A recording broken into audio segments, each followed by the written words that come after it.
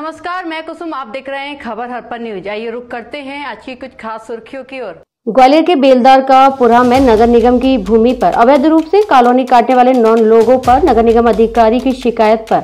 मध्य प्रदेश नगर पालिका अधिनियम की धारा दो सौ बानवे सी के तहत मामला दर्ज कराया गया है। भवन अधिकारी पवन शर्मा द्वारा पुलिस को जानकारी दी गई कि नगर निगम के बाढ़ अड़तीस। बेलदार का पुरा में मान सिंह कुशवाहा, हीरोबाई रश्मोबाई भग्गोबाई, नंदकिशोर लाल, सिंह नवीन, सीमाबाई और सुनीता बाई के नाम से अवैध प्लाटिंग की गई थी, जिस पर ग्वालियर नगर निगम द्वारा गत दिनों एंटी भूमाफिया अभियान के तहत अतिक्रमण मुक्त भी किया गया था।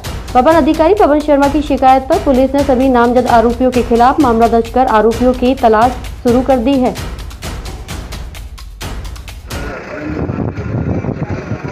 हाँ उसमें नगर निगम के जो अधिकारी हैं, उनकी तरफ़ से एफ़ आई आर हुई है और उस प्रकरण का भी अनुसंधान किया जा रहा है और उसमें अग्रिम कार्रवाई की जाएगी।